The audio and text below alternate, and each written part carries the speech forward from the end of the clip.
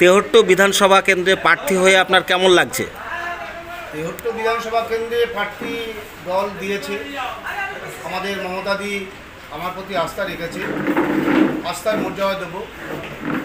বিষয়টা হলো, আজ থেকে দু হাজার দশ সালে, এগারো সালে এই তেহট্ট বিধানসভার জন্য প্রার্থী পাওয়ার জন্যে আমরা লড়াই করেছিলাম। দুর্ভাগ্যবশত সেদিন দল আমাকে প্রার্থী দেয়নি। কয়েক হাজার কর্মী সেদিন এখানে এসে ঠিক এই সময় আমার বাড়িতে জমায়েত হয়েছিল এবং সেখানে তারা বলেছিল, তোমাকে প্রতিবাদ করতে হবে। দল আমাকে, আমি নির্দ- নির্দলে দাঁড়িয়েছিলাম। নির্দলে দাঁড়িয়ে সাতান্ন হাজার ভোট পেয়েছিলাম। তো সেখানে দল আমাকে বহিষ্কার করেছিল। দু হাজার পনেরো সালে দল আমাকে আবার ফিরিয়ে নিয়ে এসে আমার কালীঘাটের বাড়িতে দিদি আমাকে দায়িত্ব দেয় যে, তেহট্ট মহকুমাতে তোমাকে তিনটে সিট আছে। সেই তিনটে সিটে উদ্ধার করতে হবে। আমি দিদির আদেশ মতো সেটা মাথা পেতে নিয়ে আমি লড়াই সংগ্রাম শুরু করেছিলাম এবং দেখলাম আমাকে পরবর্তী সময়ে পলাশিপাড়া বিধানসভা কেন্দ্রে প্রার্থী করা হলো। সেই প্রার্থী করা হলো এমন একটা জায়গায় সবাই ধরে নিয়েছিল যে এস এম সাদি সিপিএম এ দেবেন্দ্র প্রতাপ উনচল্লিশ বছর পরে সেই সেইখানটায় আমাকে প্রার্থী করা হয়েছিল। কিন্তু দীর্ঘ লড়াই সংগ্রামের ফলে আমার তেহট্ট এলাকার মানুষজন সেখানে ঝাঁপিয়ে পড়েছিল। ঝাঁপিয়ে পড়ে আমি কোনো রকম দলের মুখ রক্ষা করতে পেরেছিলাম। পাঁচ হাজার ছশো ভোটে জয়লাভ করে। পলাশিপাড়া বিধানসভা কেন্দ্র ছেড়ে আসতে হলো কি বলবেন? আমার ভীষণ খারাপ লাগছে। সেই সমস্ত কর্মীদের জন্য যেখান থেকে জিরো থেকে শুরু করেছিলাম যেখানে আমি যখন নির্বাচন নির্বাচিত হলাম পলাশিপাড়া বিধানসভা কেন্দ্রে বিধায়ক হিসাবে তখন একটা পঞ্চায়েত ছিল না একটা পঞ্চায়েত সমিতির মেম্বার ছিল না। জেলা পরিষদের একটাও মেম্বার ছিল না। দীর্ঘ লড়াই সংগ্রাম করার পরে আমি বিধায়ক বিধায়ক হওয়ার পরেই আমি ঠিক করেছিলাম। পঞ্চায়েতগুলোতে আমি দখল করব।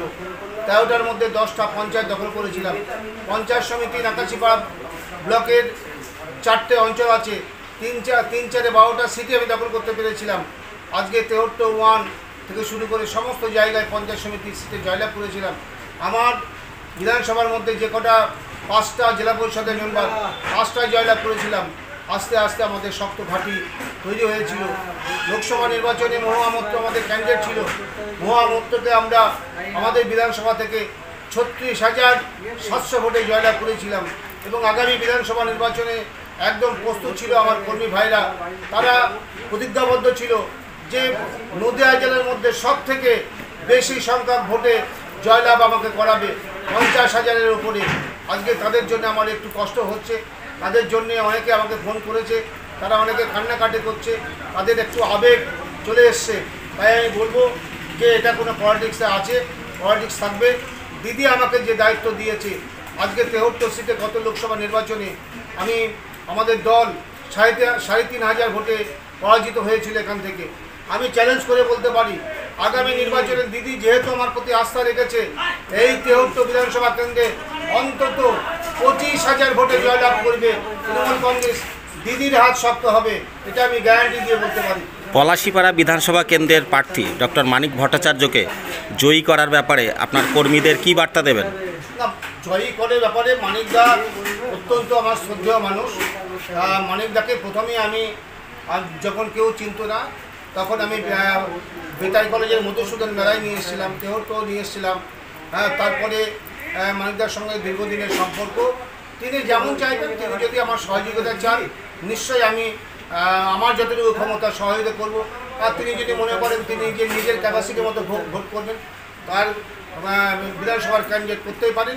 যদি আমাকে ডাকে, আমি মিটিংয়ে বসবো, আলোচনা করব এবং সম্পূর্ণ দল যদি নির্দেশ দেয় আমি দুখানা কেন? তিনখানা চারখানা বিধানসভায়।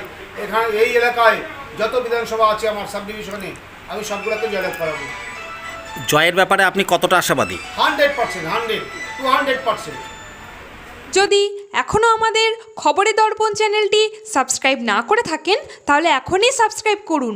সঙ্গে বেল বাটনটি ক্লিক করুন আর পেয়ে যান সব খবরের দ্রুত ভিডিও আপডেট।